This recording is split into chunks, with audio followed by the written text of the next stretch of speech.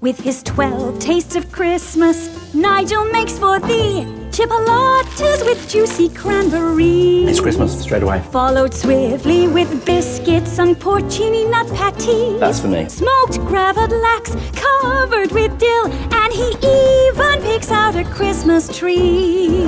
Isn't she beautiful? Yes, there's plenty more dishes for dinner, lunch, and tea.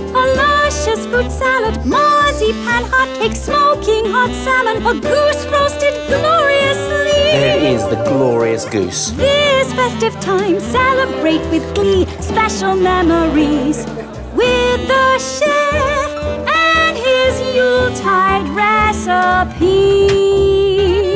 Merry Christmas. Nigel Slater's 12 Tastes of Christmas, a new special, part of Merry Meals.